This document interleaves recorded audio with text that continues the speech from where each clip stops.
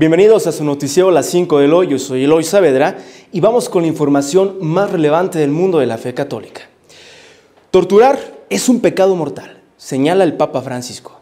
El Papa recordó que el 26 de julio se celebrará el Día de las Naciones Unidas por las víctimas de la tortura y aseguró que torturar a las personas es un pecado mortal, un pecado muy grave, exclamó el Santo Padre.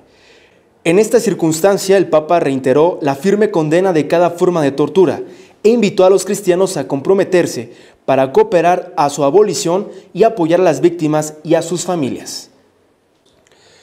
Y siguiendo con la información, el Papa Francisco exhorta a no ceder a la legalización de las drogas.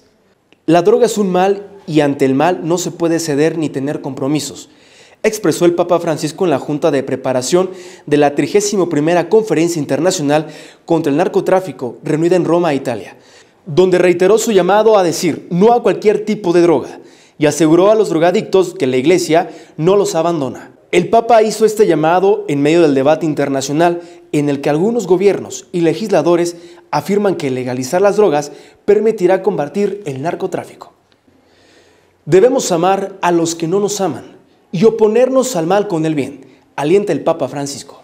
El Papa Francisco alentó a los miles de fieles y peregrinos que colmaron la plaza de San Pedro a amar incluso a aquellos que no nos aman y oponernos al mal con el bien y el perdón. El domingo pasado se celebró el Corpus Domini o Corpus Christi. La comunidad eclesial se reunió en torno a la Eucaristía para adorar el tesoro más precioso que Jesús le ha dejado. El Papa Francisco dijo que Jesús señala que no vino a este mundo para dar algo, sino para darse a sí mismo, para dar su vida como alimento para los que tienen fe en Él.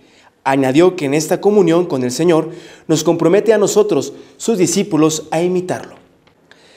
Y en noticias de la Orden Agustino Recoletos, la ayuda solidaria sigue llegando a Filipinas a través de los Agustinos Recoletos.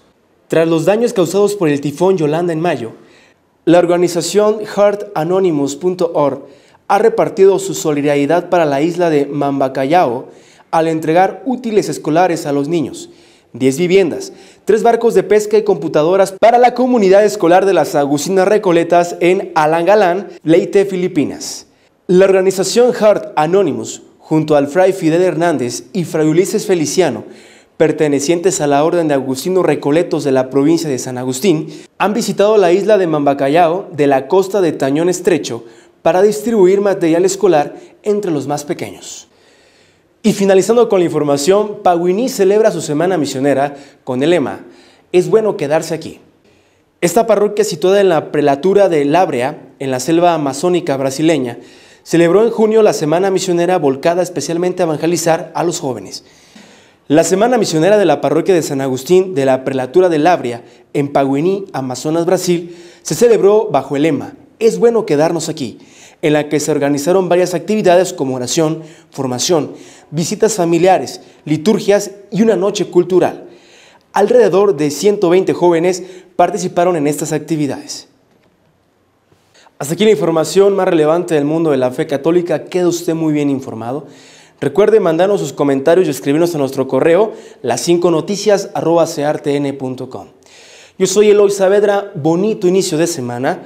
No se despegue de esta hermosa programación de Visión 10 porque regresamos con el Padre Javier a Valores de Acero.